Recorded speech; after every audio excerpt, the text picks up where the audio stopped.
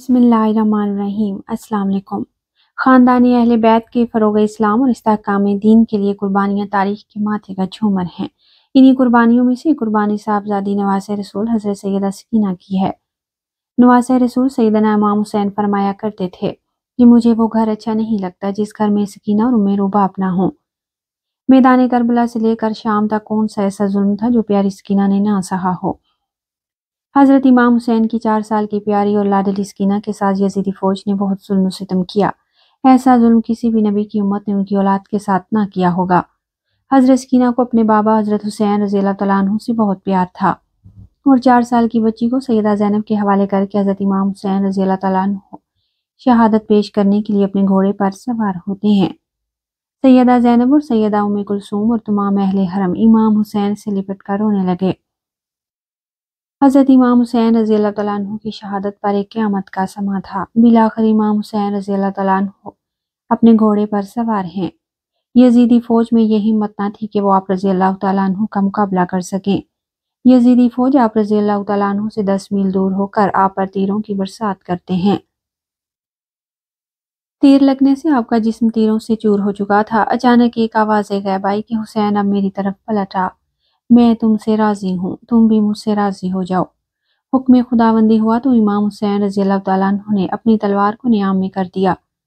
جب یزیدی فوج نے دیکھا کہ تلوار نیام میں ہو گئی ہے، تو انہوں نے اکٹھے ہو کر امام حسین رضی اللہ تعالیٰ عنہ پر حملہ کر دیا۔ سنان بن انس نے ایک ایسا سخت نیزے کا وار کیا جس کی وجہ سے آپ رضی اللہ تعالیٰ عنہ گھوڑے سے گرنے لگے۔ اتنے میں بدبخت حرملہ نے امام حسین کی پیشانی پر تیر مارا۔ جس وجہ سے امام حسین رضی اللہ تعالیٰ عنہ گھوڑے سے زمین پر گر گئے۔ جب حضرت امام حسین رضی اللہ تعالیٰ عنہ زمین پر گرے تو میدان کربلا کی زمین ہلنے لگی۔ ہر طرف زلزلہ رونما ہو گیا۔ مولا حسین رضی اللہ تعالیٰ عنہ کی گرتے ہی زمین میں موجود ہر چیز ہل گئی، آسمان کانپنے لگ گیا۔ ہر طرف یزیدی لشکر کا شور و گول اور شادیانے بچ گئے۔ بی بی سکینہ خیمے سے آئی اور آپ نے پوچھا کہ میرے بابا کہاں ہیں؟ ان میں سے ایک کمینے نے پوچھا کہ تمہارے بابا کا کیا نام ہے؟ سکینہ نے بلند آواز سے کہا کہ میرے بابا کا نام مولا حسین رضی اللہ تعالیٰ عنہ ہے۔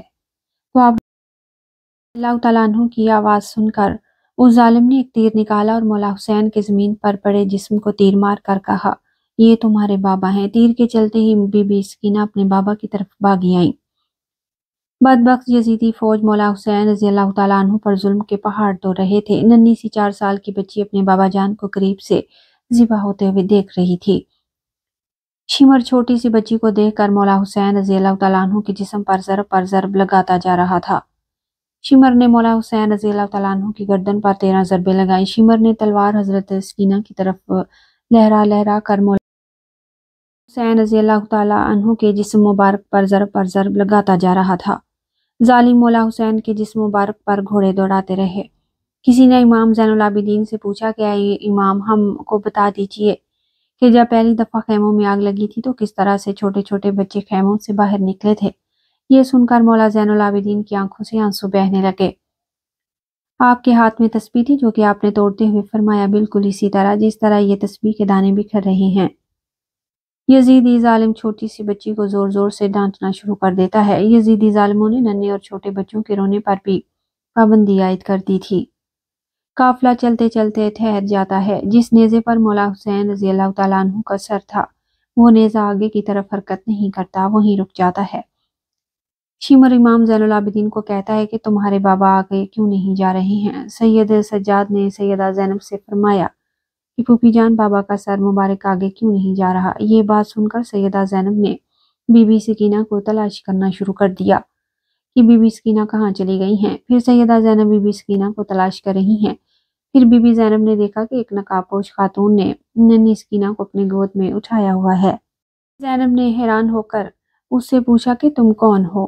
جب سے ہم کو قید کیا گیا ہے، کسی نے بھی ایسا رویہ ہمارے ساتھ اختیار نہیں کیا ہے۔ اس نے جواب دیتے ہوئے اپنے چہرے سے نقاب ہٹا کر کہا کہ میں تمہاری ماں بی بی فاطمہ ہوں۔ یہ سن کر حضرت زینب بھی اپنی ماں کے گلے لگ کر رونے لگی۔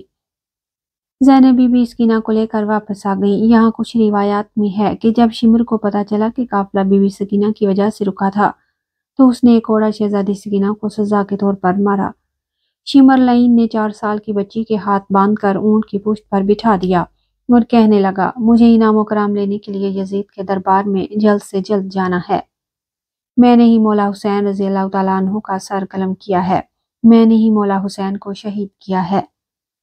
جب شمر سارے قافلے کو لے کر یزید کے دربار میں پہنچا تو اس نے کہا کہ پیچھے کون ہے؟ یزیدی فوج نے کہا کہ یہ علی رضی اللہ تعالیٰ عنہ کی بیٹیاں ہیں۔ پھر یزید نے پوچھا کہ یہ چھوٹی سی بچی کون ہے؟ یزید کو کسی نے کہا کہ یہ بی بی سکینہ ہے۔ یہ مولا حسین کی بیٹی ہے۔ سکینہ دربار یزید میں اس طرح کھڑی تھی۔ دربار یزید میں کھڑی سکینہ نے پاؤں اس طرح سے رکھے تھے کہ ایک پاؤں اوپر ہوتا تھا اور دوسرا نیچے ہو جاتا تھا۔ دوسرا پاؤں اوپر ہوتا تھا، پہلا نیچے ہو جاتا۔ بی بی سکینہ کو اس حالت میں دیکھ کر یزید نے پوچھا کہ تم اس طرح سے کیوں کھڑی ہو؟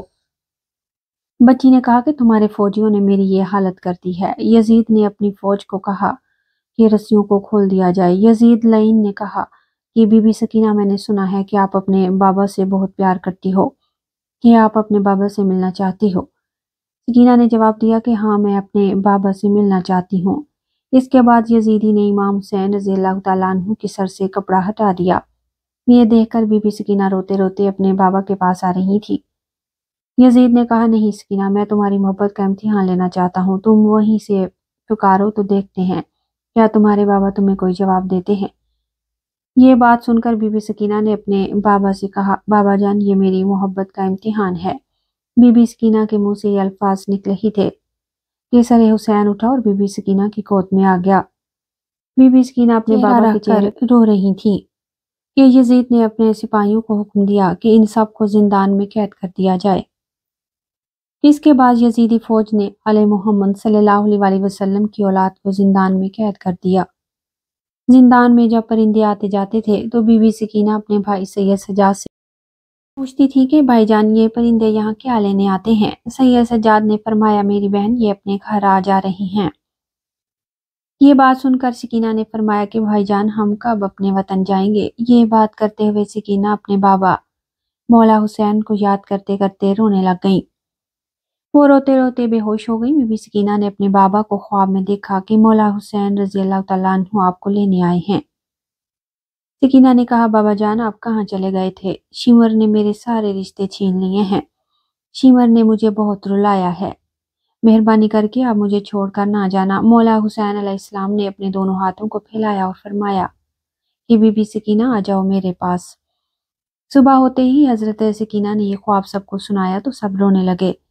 زندان میں رونے کی آوازیں بلند ہو جاتی ہیں۔ یزید سو رہا تھا۔ جب زندان سے آواز بلند ہوئی تو یزید نے اپنے سپاہیوں سے اٹھ کر کہا کہ یہ آواز کیسی ہے؟ یزیدی فوجیوں نے کہا، یہ لگتا ہے کہ وہ حسین کو یاد کر کے رو رہے ہیں۔ یزید نے اپنے فوجیوں کو کہا کہ ان کو حسین رضی اللہ تعالیٰ عنہ کا سر دے دو تاکہ ان کا رونے کا شور بند ہو جائے۔ میں سکون سے سو سکوں۔ یزیدی فوجیوں نے سر مبارک کو زندان میں رکھ دیا۔ جب مولا حسین رضی اللہ تعالیٰ عنہ کا سر مبارک زندان میں رکھ دیا گیا تو سر مبارک کو دیکھ کر سب رونے لگ گئے۔ اپنے بابا کا سر مبارک بی بی سکینہ اپنی گود میں رکھ کر بہت زیادہ روئیں۔ سکینہ اتنا روئی اتنا روئی کہ روتے روتے دنیا سے پردہ فرما گئیں۔ شام میں امام سجاد علیہ السلام کا خطبہ وہ خطبہ ہے جسے آپ نے واقع عشورہ کے بعد شام میں یزید کے دربار میں ارشاد فرمایا۔ امام سجاد علیہ السلام اور اسیران کربلا کی موجودگی میں یزید کے حکم پر ایک خطیب نے ممبر سے بنو میہ کے مدعا اور امام علیہ السلام اور آپ کے اہل بیت کی مذمت میں تقریر کی۔ امام سجاد نے فائدہ اٹھاتے ہوئے اس خطیب کے جواب میں حضرت علی علیہ السلام کی، حضرت علی علیہ السلام اور علیہ علیہ السلام کی مدع اور فضیلت پر مشتمل خطبہ بیان فرمایا۔ اس خطبے نے شام کے اجتماعی ماحول پر بڑے پیمانے پر اثر کیا اور یزید کی ظاہری سیاست میں تبدیلی کا پیش خیمہ ثابت ہوا۔ اللہ تعالیٰ سے دعا ہے کہ اللہ پاک ہمیں اپنے نبی کی آل سے پکی اور سچی محبت عطا کرنے کی توفیق عطا فرمائے۔ آمین۔